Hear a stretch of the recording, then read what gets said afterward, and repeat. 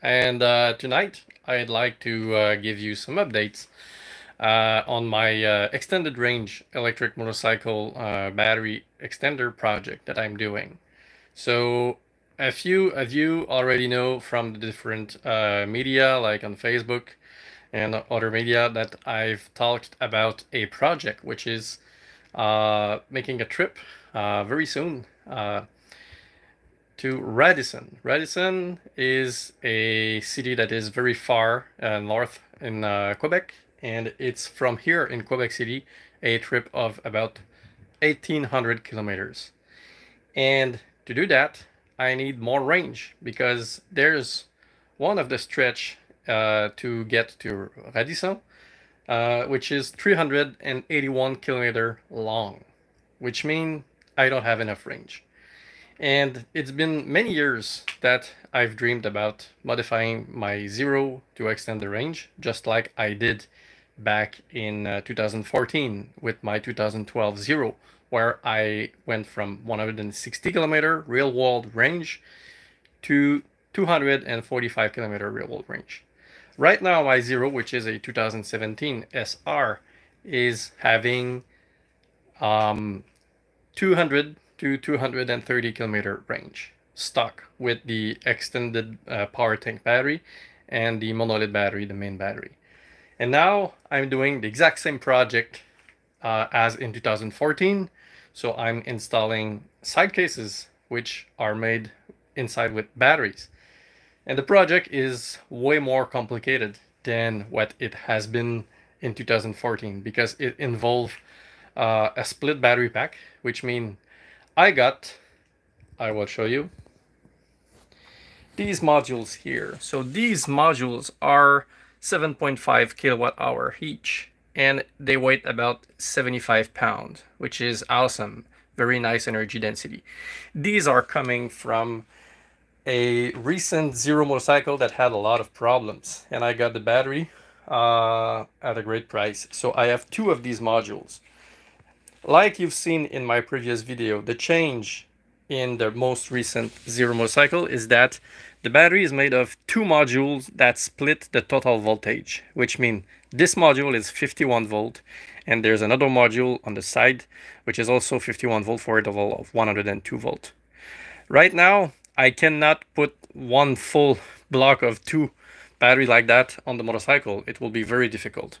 So what I'm doing is I'm doing cases. Like you see i found these really nice case like the the storm oil pelican case. Uh, those are not any of these brands. These are uh, from italy but i'm not sure exactly what the brand but these fit nicely these batteries except that i had to cut the power lead here on both sides and to crunch these a little bit and to install wires so uh, that's uh, that's the goal to make them to fit inside. That was the only thing. Except that the fix for the battery the, these uh, mount uh, these are M6 screw here. And what you see is that I had to heat those cases in order to make some room for these uh, kind of a bump here. Okay? So right now what you see here it's a lot of work so that case here is a 7.5 kilowatt hour with the BMS, and this is what I call the master. What I mean is that since the battery is split in two, and I will have one on each side of the motorcycle, and I don't want to have two 51 volt BMS, which means one per case, because if one of these is shutting down, the open circuit voltage it will see will be the entire voltage of the pack, which is not good, and I will blow the MOSFET. So I needed to choose a single BMS, which means that there's the channel A for half of the battery here, which will be connected to this one. So I made uh, quick boards to communicate with the uh, each of the node of the connection of the 14 connections of the cells in series. And I have this uh, little connector here. So this is a 14S connector here, what you see. And it will connect to this uh, cable here that I made. So yeah, so what you see here is the uh, first channel, which is the 0 to 51 volt. And then the 51 to 102 volt here, the second 14S of this 28S BMS will connect with this cable here. I will just need to make the connection with this JST connector and to solder these wires here that going here to the link between the two batteries. I mean, not the power link, but the serial link to link to the cells channel. And it will connect directly here to this other battery will where I will connect this second cable here with all the cells channel to this one here. And those are all waterproof. So the two lead that you see here will be the plus and minus. It will be the 51 volt link and the second one will be also the 51. So I will use this SB connector here, which will connect to these leads. And I will have a kind of a splitter, which which mean I will have those connectors split in two in series to make the 102 volt from the two batteries. And I understand, guys, I will have for sure to manage uh, the connections because it will be important to have the negative of the battery and the link in series connected in the right sequence compared to the uh, BMS uh, connections here. And by the way, I also have the uh, temperature sensing on this one as well as on this one. I have four channels to monitor the temperature on this BMS. And this BMS, what is nice is that it's uh, a Jiabaida BMS that I like a lot, but it's likely rebranded by this strange brand here. And those are difficult to find but still exist. It's 100 amp continuous bms and let me let me let me explain. So the motorcycle uh, average power will be i will say uh, maybe four kilowatts.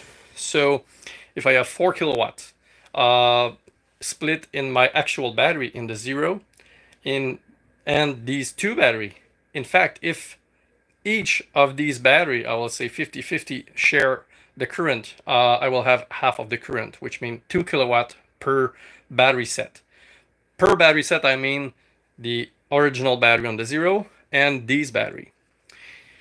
Chances are that these battery, which is 15 kilowatt hour, because I have two 7.5, that will add to my actual 12 to 13 kilowatt hour usable on the actual zero um, it will be important to have the impedance match. What I mean is that I want that per kilowatt hour, I will drain the same current on my actual zero than on these battery because I want these to drain at the same rate as the SOC goes down. I want to have both of my zero and these at the same voltage, which means it's very important to have the internal resistance and the cable resistance to be matching so if I drain 4 kilowatt, let's say that I have like two sets of 12 kilowatt battery for a 24 kilowatt hour total, I will need to drain 2 kilowatt per set. Right now I have 12 plus 15, which means 27 kilowatt hour of battery on the zero. And a lot of you guys will wonder what kind of weight it represents. Well, those two cases that you see here will weight once these are assembled like this one, these will weight 80 pounds, okay? Maybe plus two pounds for the cables. So 80 pounds, which means 160 pound of battery. If I'm adding the rack that uh, I will, the, the mount I mean, where I will have some steel and aluminum, uh, it will be maybe at 10 pound, which means 170 pound. If you take a passenger with the helmet, the, the, the, the, suit and everything, it corresponds to about the same. So yeah, so in summary, uh, I have a 100 amp BMS that represent at 102 volt about 10 kilowatt. And uh, it should be okay, I think. Otherwise, it will maybe cut uh, at twice of the current value, which means 200 amp here and 200 amp on the stock zero battery, which means 400 amp. But I just need to be easy on the acceleration or just set it to eco mode. So in other words, guys, um, that battery project is a project in order to be able to achieve the 381 kilometer range uh, stretch between Matagami and kilometer 381, which is the relay uh, 381, which is a kind of a truck stop in the uh, middle of the 621 kilometer to the north road from Matagami. So from Matagami to Radisson, it's 621 kilometer. And when I reach Radisson, it's at the 53rd parallel. So that's quite in the north of Quebec. And a lot of people tell me there's nothing interesting there except maybe forest, mosquitoes, you know, and but there's very big hydro plant. And I'm very big fan of the nature and, you know, quiet nature and hydroelectric too. So that will be awesome trip. In principle, I will be able to finish that this week. There's a lot of work and I've been working a lot already to set up everything. And what I mean by setting up everything, nothing has been done to uh, match perfectly uh, everything because everything is not made to fit. So what you see here is that there was some mount on this battery, but to make it to fit in, in the case, I had to cut these. The extension here, the connector, I will show you with the parts that I have here. I will show you the original connections. So yeah, so these are the original connection that were like installed here, where there's kind of a screw connector here. But I had to shave these, cut these, cut the bus bar, and to solder these 8 gauge wire to these bus bar and to seal these because this case is pressure equalized, so it means with the temperature changes and altitude, it shall not breathe. Uh, I mean breathe. So air will not travel between inside and outside of the pack, and that's what I want. I don't want to have a vacuum created by differential of pressure and having water going inside. But even if there's water going inside, the entire BMS, including the PCB, has been uh, covered with uh, conformal coating, which is uh, perfect for that uh, insulation. So that's the kind of uh, stuff that is looking like. Yeah, so you see, yeah, exactly this kind of stuff here. So it's exactly made for the conformal, uh, not the conformal coating, but for the um, sealing of the electronic. And I've paid attention to have kind of a fiberglass tape here that I'm covering uh, the parts between this semiconductive part, which is aluminum, anodized aluminum, and these connections here. I have good spacing below it. And uh, in other words, I pay attention a lot to the uh, waterproofing of that. And I might install a drain hole on one of the uh, corner here because the way the battery or the, the cases will be mounted on the motorcycle, they will be likely tilted this way a little bit. And there will be like a corner that is lower than the other. So if I make a drain hole and that this corner is facing the rear of the motorcycle where there's a kind of a vacuum, I will expect that any kind of water intrusion will just be sucked out like this way. So yeah, uh, that's the update from now. Uh, if you have some question, uh, please ask in the comment. Uh, I will be uh, very pleased to answer all these because I know that you probably have a lot of questions about that kind of project. It will be maybe not the first, but uh, on the top two of the uh, electric motorcycle with the most range, the wheeled roll range.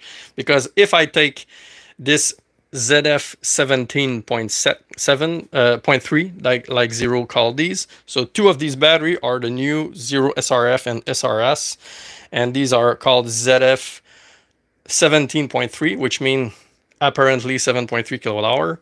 And I combine that to my ZF 13 plus 3.3, which is the power tank, which is 7 uh, ZF 16.3. So ZF 16.3 plus ZF 17.3, which means ZF 33.6. And if I combine both ranges of my zero to these modules of battery that I'm adding that are also coming from zero, it should in theory get about five to 600 kilometer range maximum, but I will not expect that. My goal is to have just enough to cover the 381 kilometer.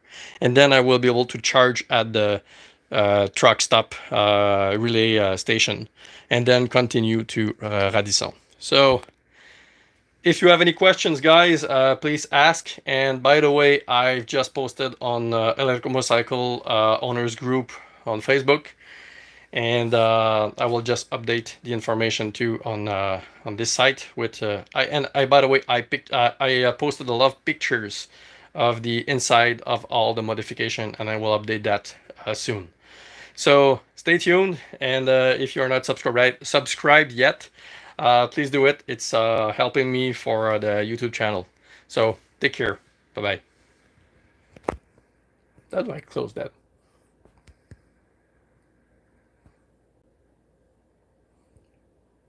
All right. Okay. So maybe I just click here.